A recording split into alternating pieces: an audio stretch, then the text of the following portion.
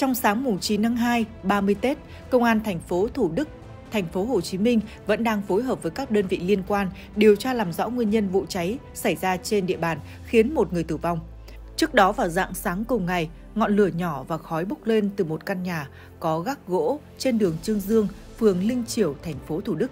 Vụ việc sau đó được trình báo lực lượng chức năng. Lập tức lực lượng cảnh sát phòng cháy chữa cháy và công an địa phương được huy động đến hiện trường, dập lửa, triển khai các phương án cứu nạn cứu hộ. Khi ngọn lửa được dập tắt, cảnh sát phát hiện một người đã tử vong trong nhà. Theo xác minh của PLO, người tử vong là nam giới, em của chủ nhà, bị bệnh bại liệt. Thông tin ban đầu, vào đêm hôm trước, nhiều người trong căn nhà có ăn nhậu dịp Tết.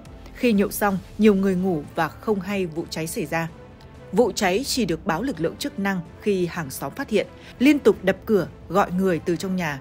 Lúc này nhiều người đang ngủ mới tỉnh dậy thoát ra, nhưng người bị bệnh bại liệt không may tử vong. Hiện công an đang tiếp tục điều tra làm rõ vụ việc.